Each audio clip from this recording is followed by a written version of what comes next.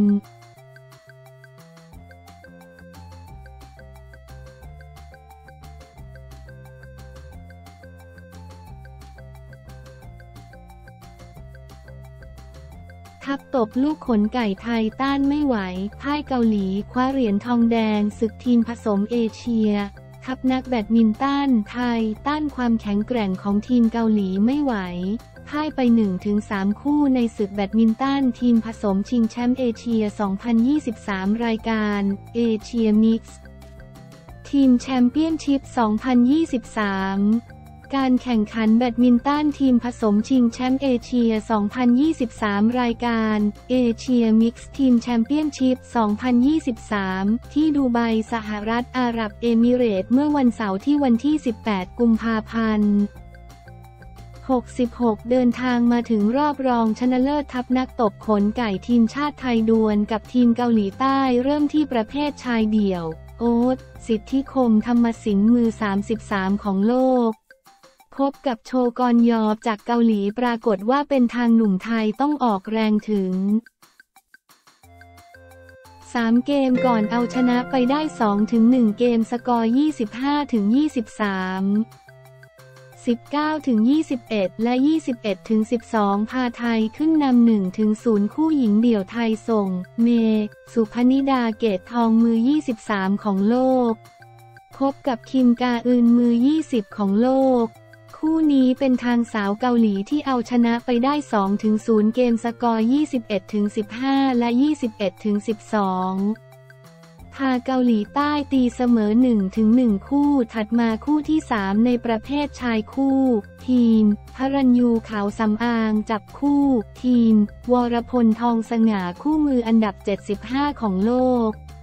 พ่ายให้กับคิมวอนโฮกับนาซองซึง 2 เกมรวดเช่นกัน 13 ถึง 21 และ 11 ถึง 21 ทำให้เกาหลีใต้ขึ้นนำ2ถึง1คู่ก่อนที่คู่ที่ 4 ประเภทหญิงคู่คู่พี่น้องเอี่ยมสะอาด อันนา นันการกับมูนา เบญญาภาเอี่ยมสะอาดคู่มืออันดับ 10 ของโลกพ่ายให้คู่เกาหลีแบบขาดลอย0ถึง2เกม3ถึง21 7ถึง21ทำให้ทีมเกาหลีใต้เอาชนะไปได้ 3-1 คู่ ส่งเข้าไปยืนรอในรอบชิงชนะเลิศ ขณะที่ทัพนักกีฬาไทยได้เหรียญทองแดงปลอบใจ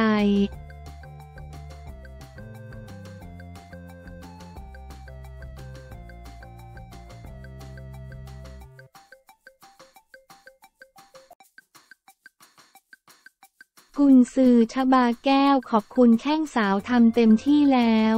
หวังทุกคนพัฒนาขึ้นอีกกุนซือชบาแก้วมิโยโอกาโมโตะหัวหน้าผู้ฝึกสอนฟุตบอลหญิงทีมชาติไทย ขอบคุณนักเตะสาวที่สู้สุดความสามารถแม้จะพลาดตั๋วฟุตบอลโลก หวังทุกคนพัฒนาขึ้นกุนซือชบาแก้วมิโยโอกาโมโตะกล่าวชื่นชมนักฟุตบอลหญิงทีมชาติไทย ทุกคนที่พยายามทำอย่างเต็มที่ พร้อมขอให้ทุกคนนำความผิดพลาดไปแก้ไข เพื่อยกระดับฟุตบอลหญิงในไทยให้ก้าวขึ้นไปอีกระดับในอนาคต หลังจากชบาแก้วพลาดโอกาสไปเล่นฟุตบอลโลก รอบสุดท้ายได้พ่ายต่อแคเมรูนในรอบเพลย์ออฟ 0-2 กุนซือชาวญี่ปุ่นกล่าวว่า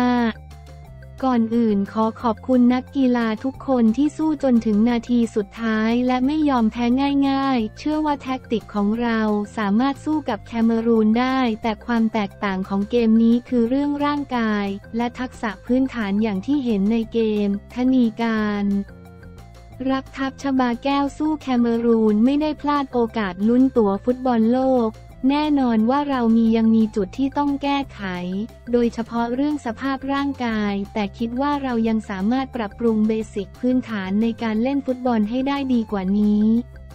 ในทีมชุดนี้มีนักกีฬาอายุน้อยหลายคนที่ได้โอกาส มองว่าเราจำเป็นต้องผลักดันดาวรุ่งขึ้นมาให้ได้อย่างต่อเนื่อง เพื่อเปลี่ยนผ่านทีมชุดนี้ให้ดีขึ้นต่อไป เป็นความรับผิดชอบของตัวเฮดโค้ช หลังจากที่เราไม่สามารถคว้าสิทธิ์ไปเล่นฟุตบอลโลกรอบสุดท้ายตามความคาดหวังของแฟนบอล อย่างไรก็ตามยังเชื่อเสมอว่าฟุตบอลหญิงในไทยยังสามารถเดินหน้าต่อไปได้อีกในอนาคต และอยากให้ทุกคนช่วยกันเป็นกำลังใจและสนับสนุนทีมต่อไปสำหรับชบาแก้วจะทำการแข่งขันอุ่นเครื่องระดับ A แมตช์พบกับเซเนกัลทีมที่ตกรอบในกลุ่ม B ที่ไวกาโตสเตเดียม เมืองฮามิลตัน ประเทศนิวซีแลนด์วันที่ วันที่ 21 กุมภาพันธ์ เวลา 13 นาฬิกาตามเวลาประเทศไทย